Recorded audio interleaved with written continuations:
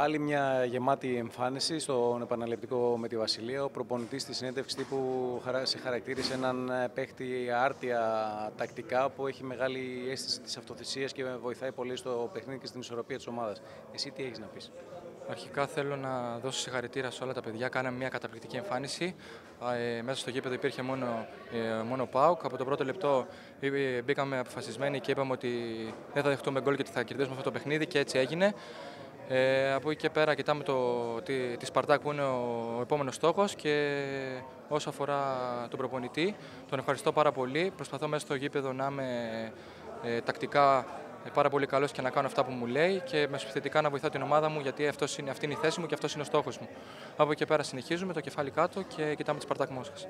Περίμενες όταν έγινε η κλήρωση να τελειώσει τόσο εύκολα με δύο νίκες αυτό το ζευγάρι; Όχι, δεν το περιμέναμε καθόλου, διότι είχαμε πει ότι η Βασιλεία είναι μια πάρα πολύ καλή ομάδα, έμπειρη ομάδα στο, στο Champions League με μεγάλη εμπειρία. Από εκεί πέρα την κοιτάξαμε στα μάτια, μπήκαμε μέσα, μέσα στην έδρα της και, και παίξαμε πολύ όμορφο ποδόσφαιρο και, και, την κερδίσαμε, και την κερδίσαμε, την κερδίσαμε με ένα καλό σκορ που αυτό μας χαρακτηρίζει ως μια πάρα πολύ καλή ομάδα και θέλουμε να φτάσουμε τον πύχη ακόμα πιο ψηλά και να συνεχίσουμε καλύτερα.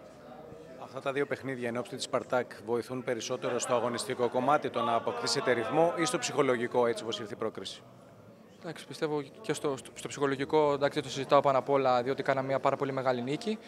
Ε, εντάξει, η Σπαρτάκ ε, είναι μια πολύ, πάρα πολύ δυνατή ομάδα, έμπειρη ομάδα, εντάξει, είναι πολύ δύναμη στη Ρωσία.